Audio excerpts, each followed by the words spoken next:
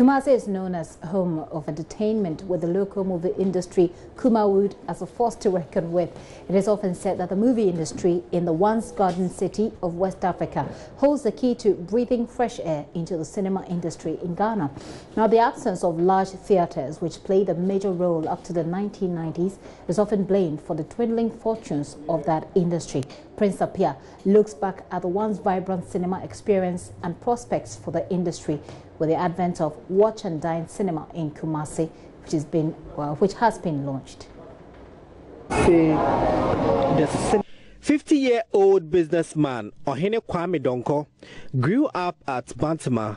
It was once a vibrant community noted for entertainment, with movies at center stage. He sits in front of one of the popular cinema houses of the 90s, Rivoli Cinema, not to watch a movie, but for fresh air. Rivoli was the best as far as cinema. Ohene Kwame Donko, also known as Osei Kwame, uh, has fond memories of the cinema experience. This place, they were running three, three shifts. Okay. By 4 o'clock this time, we see long queue over here. because when you don't come early, you don't get a place to yeah, We have the upstairs and the downstairs. It's, it's get full. And when it is full, they will close the door. See, so it was very, very popular. And uh, it made bound to migrate. Other notable cinema theaters included Rex, Roxy, and Okansi. All of them have collapsed with the advent of videos, CDs, DVDs, and pen drives, and the internet, which makes it possible to watch films indoors. These halls are now being used either for chapels or warehouses. Rivoli, however, remains unused, but traders have taken over front premises. Ohene Kwame Donko wants the cinema experience revived. I mean, uh, when the cinema shows are revived, it will be better. The wish of people like Osei Kwame to return to the good old days of outdoor cinema is now a reality in Kumasi. Watch and Dine Cinema at the Kumasi City Mall provides world-class standard for patrons.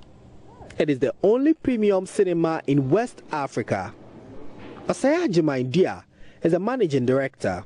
We actually thought of enhancing our local our, our Kumawood and our, I would say our Gollywood movie production. How? When you look at Nigeria, they have about 8, 10 movie distribution ends. In Ghana, we only have uh, Silverbird in Accra. So when you want to watch a movie, people in Kumasi or Tamale need to fly all the way to Accra to watch a movie. Watch and Dine is here to answer that question. We are here to solve it. In that, it helps our local industry to get a place to exhibit their movies. When their, their, their, uh, their movies are exhibited, people and other Western countries and other people are able to know about our culture. Now, movie lovers are already trooping in and I decided to be here so I know what is really happening here. And I, really, it's very lovely.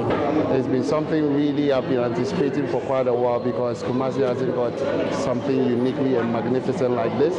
With the past sorry state of cinema business hanging over people in Kumasi, can Watch and Dine survive? Um, Watch and Dine is the first cinema in West Africa to have a mobile responsive app. On Play Store, you can order for your tickets or pay for your tickets through various payment platforms. You can book a seat and you can buy a meal. It is obvious if the necessary support is given to daring investors like Watch and Dine, the local movie industry can see a revival. Prince Appiah reporting.